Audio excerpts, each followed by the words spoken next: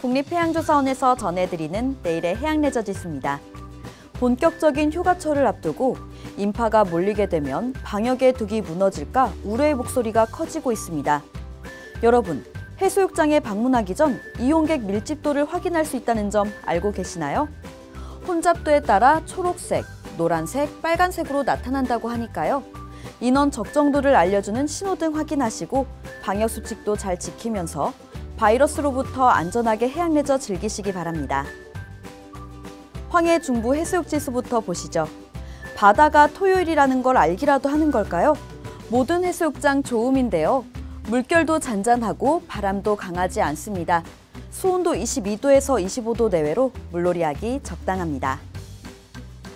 황해 남부 역시 초록빛으로 가득합니다. 파고가 낮아 아이들도 물놀이하기 적당한데요. 기온은 23도를 웃도는데 물에 젖게 되면 추위를 느낄 수도 있으니까요.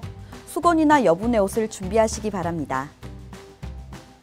남해 서부도 여러분 만날 날을 기다리고 또 기다렸나 봅니다. 개장 첫날부터 조음 뛰며 우리를 반기고 있는데요. 역시나 해왕 안정적입니다.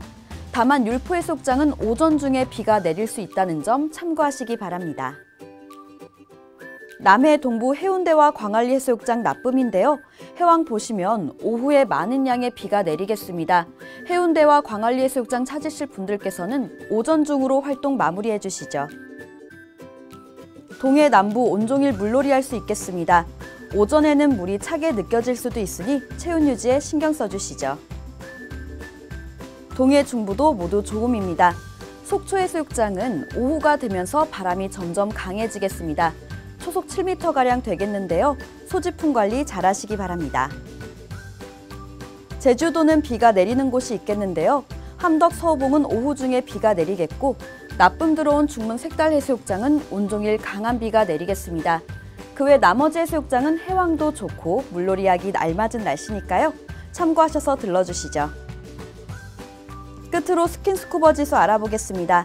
나쁨 들어온 포인트는 유속이 빨라 피해 주셔야겠고요. 거문도는 보통이지만 나쁨 들어온 포인트보다 유속이 더 빠르다는 점 참고하시죠.